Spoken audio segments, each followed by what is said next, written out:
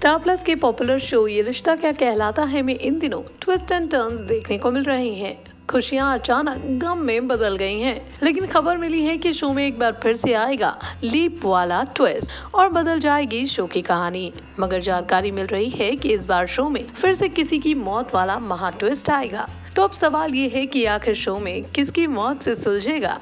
कायरा का मसला?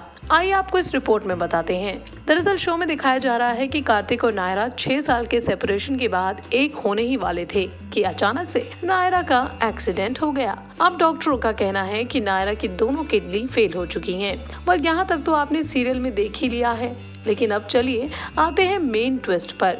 तो ट्विस्ट ये है कि जहाँ एक और किडनी फेल का खतरा, मौत का सवाल बनकर नायरा की ज़िंदगी पर मंडरा रहा है तो वहीं इसी के साथ सवाल ये उठ गया है कि क्या इसी मुहाने से शुरू हो जाए कि ये रिश्ता में नए लीप की तैयारी? क्या किडनी फेल से हो जाएगी नायरा की मौत? और ऑडियंस के दिल को लगेगा धक्का, या फिर नायरा को बचाते बचाते चली जाएगी वेदिका की ही जान? वल क्या होगा शो में?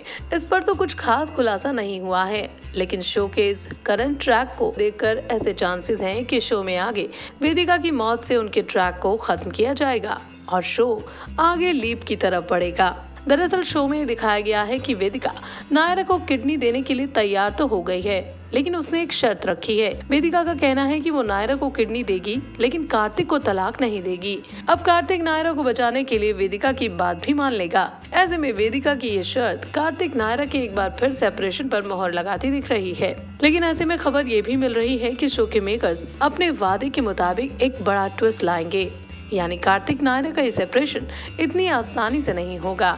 इसमें और भी ज़्यादा इंटरेस्टिंग मसाला होगा। दरअसल माना जा रहा है अब की मेकर्स एक बार फिर लेंगे वेदिका को फिर से कार्तिक की ज़िंदगी में लाने का रिस्क वैसे पिछली बार जब वेदिका कार्तिक की ज़िंदगी में आई थी तो ये ट्विस्ट काफ़ी लोगों को पसंद नहीं आया था और इसकी वजह से शो के टीआरपी पर भी असर पड़ा।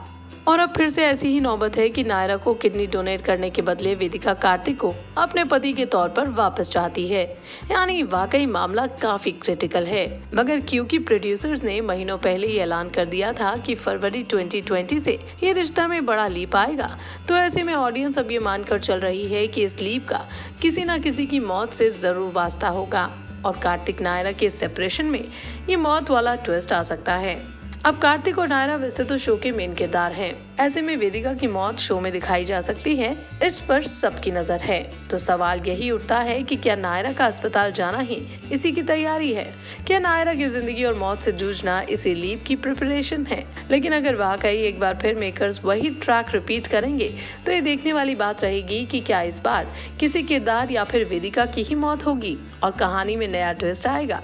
तो देखते हैं कि कहीं ऐसा ना हो कि नायरा को किडनी डोनेट करने का सौदा वेदिका के लिए ही महँगा पड़े। वाल देखते हैं कि ये रिश्ता में आगे क्या होगा। लेकिन लगता तो यही है कि शो में लीप से पहले बहुत ही मेजर धमाका होगा।